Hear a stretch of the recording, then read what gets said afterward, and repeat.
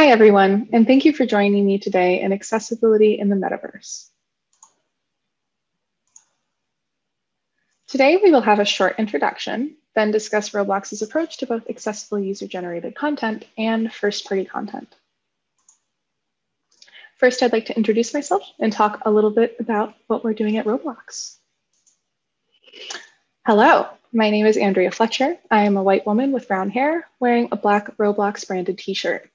I am a software engineer on the social team at Roblox, and in my spare time, I love bringing my imagination to life through hobbyist development on our platform. Previously, I worked on the iOS accessibility team at Apple, and I interned on the accessibility team at Google in college. My love and passion for accessibility stemmed from a childhood interest in sign language that grew in college while working with a research team that focused on developing educational games for deaf children, helping them learn ASL.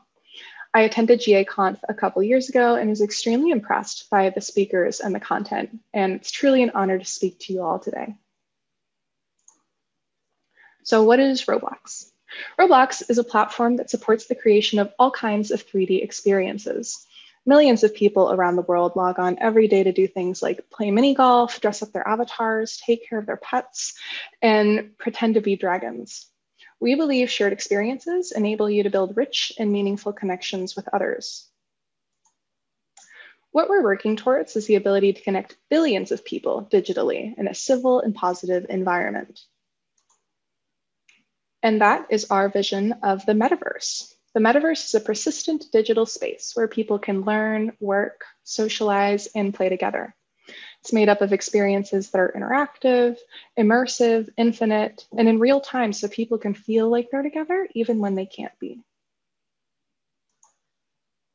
Here are some statistics that really drive home the scale of what we're doing. What I want to reinforce is the metaverse is made entirely by developers, more than 8 million of them. This is especially important when considering our approach to accessibility.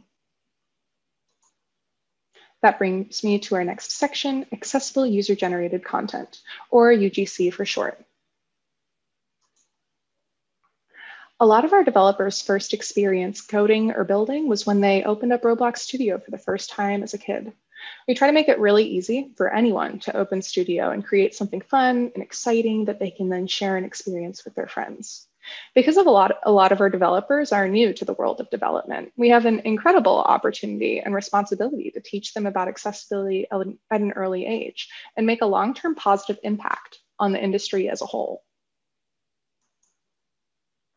Roblox Studio is the IDE we provide to our developers to make content. It's free to use. It lets you create anything and release it with one click to smartphones, tablets, desktops, consoles, and virtual reality devices.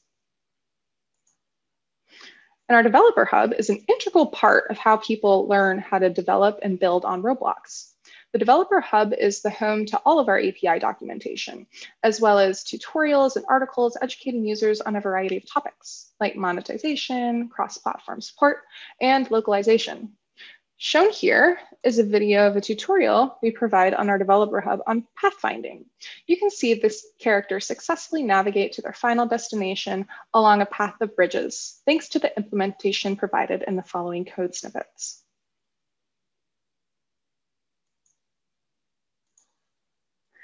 And as of early this year, the Developer Hub also hosts an article on accessibility best practices. This article was written by yours truly in collaboration with the developer documentation team and currently covers five best practices about text, color, and sound. Here you can see two examples of UI showing the same information, but with two different treatments. And when shown with the blur effect, the second treatment with larger text is still legible. This tries to reinforce the idea of putting yourself in someone else's shoes when making decisions about UI. And here's the principle we use for, uh, here's the example we use for the principle, don't use sound alone to convey meaning. There's a character near a phone booth, and when the phone starts ringing, there isn't any indication other than the sound that it's ringing. Our character shrugs, not knowing what is going on. But the second time around, with a particle effect and a blinking light paired with the sound, our character knows to walk over and answer the ringing phone.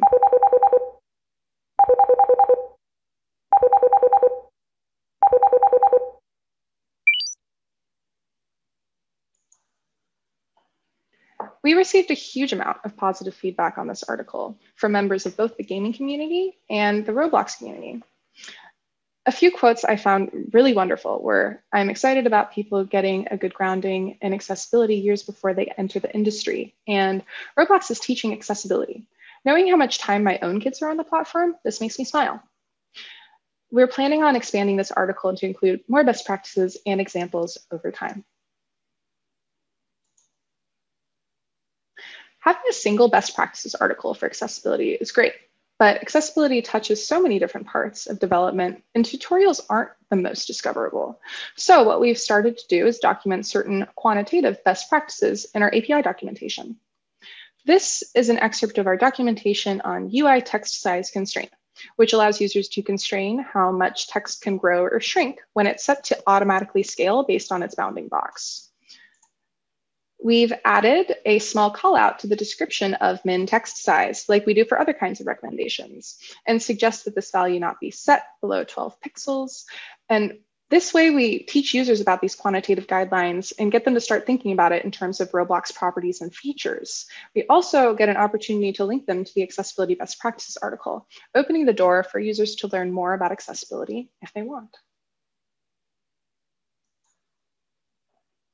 I'd also like to mention the work that we've been doing in our accelerator program. This is a three-month program where we work closely with selected groups of teams and studios developing their pitched projects. During these three months, we have regular playtests, office hours, and tech talks that cover a variety of topics, like monetization, level design, and UI. And now we include a one hour long session covering more than 20 gaming accessibility guidelines, along with examples from real Roblox experiences that do a great job in these areas. Shown is a photo of the slide deck from one of our presentations covering the specific volume, volume controls game accessibility guideline and an example from an experience in Roblox. And the last thing I'd like to note in this section is that our community really cares about accessibility. Time and time again, I'm blown away by the compassion our developers have for each other, where they internally advocate for better accessibility in each other's experiences and act on that feedback. One developer went so far as to make a 10-page how-to on game accessibility on our developer forum a few months ago. We wanna make sure to grow and foster that interest. And finally, I would like to talk about our first party content. Events have been something we've had on Roblox for a long time. For example, we have an awards show every year called the Bloxy Awards, where we recognize best in class experiences in a variety of categories, like best showcase, best use of tech, and user choice awards, like favorite map and best trailer. This has evolved over time from a live streamed video featuring Roblox employees as announcers to a fully immersive animated experience where users are taken on a journey through nominees' experiences featuring a mocap concert intermission. And over the last two years, the frequency of these events has skyrocketed with persistent branded worlds, concerts, listening parties, and even book launches. Almost all of these events are created by the Roblox developer community. Videos have become a staple of our events. Almost every event we've had since 2020 has incorporated videos of some kind, and we're now supporting captions in these videos. Captions are locally toggleable for users, so you can use them based on your preference. Video frames are still in beta, and our first party experiences are the perfect opportunity for us to try out new features like this. Because we operate at such a large scale, first party support for captions immediately opens up experiences to easily support captions in the magnitude of millions in their videos. And it's something we're really excited to support. Voice chat is another extremely exciting feature we've recently started beta testing. It's currently totally spatial, meaning you can only hear people near you. This makes the metaverse feel so immersive, and it's been extremely fun seeing what our developers are doing it, doing with it.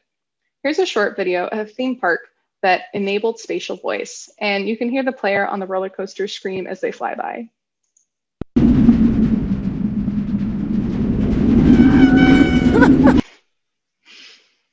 Actively working on supporting speech to text and testing out features like live translation.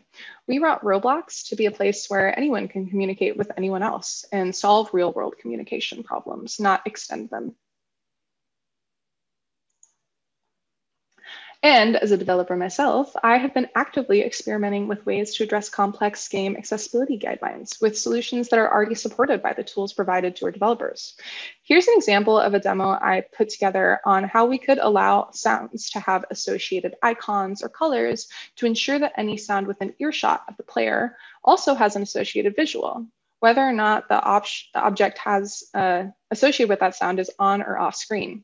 The code is written in a plug and playable way, and all it requires is a custom icon or color to be associated with each sound a developer uses in three-dimensional space. This just goes to show with the tools provided, uh, a lot of this is already possible.